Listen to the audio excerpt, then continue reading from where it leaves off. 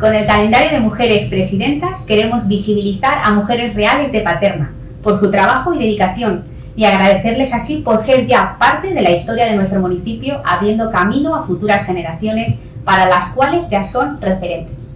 En Paterna hay cinco hogares de jubilados, cuatro son mujeres las presidentas y uno un hombre. En el 96 empezamos la, andadura de la asociación.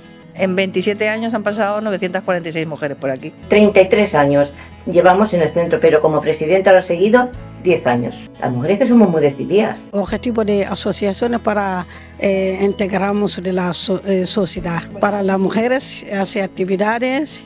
Porque nadie se animaba. Como nadie se animaba, pues fui yo. Empecé eh, cuando esto se construyó, por cierto, cuando María Ángeles Maches me pidió por favor que me hiciera cargo. Pues llevo dos años como presidenta de Junta Local, eh, soy la primera mujer presidenta en 50 años de la Junta Local. Yo he sido presidenta antes que fallara mayor. Todavía nos cuesta el decir, ostras, voy a llevar un cargo ejecutivo. Eh, porque puedo, o sea, podemos todas. Fui la primera mujer que entró en la federación, porque mi comparsa fue la primera comparsa femenina. Por casualidad de la vida, el primer año. Yo también, primer año. Yo también, aunque llevo muchos años, primer año de presidenta. Yo este año es el primer año de esta etapa, pero he sido presidenta anteriormente también. Desde 1998. La más vieja soy yo y aquí la que está a mi lado. ¿Vieja? Inauguramos la... Vieja de, de, de, amas de casa. La Junta Local del Cáncer de Paterna, lo que lo llevamos nosotros va a ser ocho años. En La Cañada se, se fue creando hacia unas 20 mujeres, eh, ahora unos 14 o 15 años. Pues yo llevo desde que empezó la Peña, seis años de presidenta.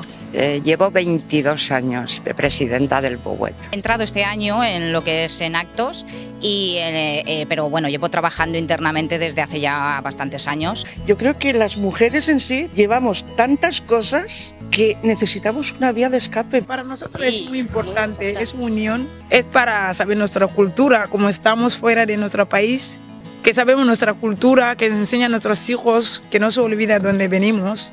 Es que sería como un deseo, ojalá todas las mujeres y chicas del barrio eh, tuvieran esta, este empoderamiento, esta, esta relación tan estupenda y tanto, tanto crecimiento personal. Todas muy diferentes y de distintas edades, pero mm, hay mucha unión. Nosotros somos un grupo de apoyo a la mujer, a la mujer que necesita pues estar acompañada, eh, sentirse arropada, hacer una amistad. Yo, por ejemplo, conocía muy poquita gente cuando empezó la asociación, conocí a Alicia y a sus hermanas, y el hecho de estar pues, ha hecho que conociéramos a, todas las a muchísimas mujeres de la cañada. Los miércoles que nos reunimos aquí, pues hacemos, pues ya te he dicho lo del, por ejemplo, estudiar a las mujeres, estas mujeres, o hacemos, marcamos un país y estudiamos sobre ese país y sacamos, nos enteramos de las costumbres o de la, de la cultura. El enriquecimiento personal, eh, la autoestima eso también lo trabajamos mucho. Gente colaboradora y muy trabajadora por la casa, luchando mucho por la causa. Nuestra finalidad es fomentar el feminismo y luchar contra el machismo. Entonces, y empoderar a las mujeres. Nuestra finalidad es claramente feminista.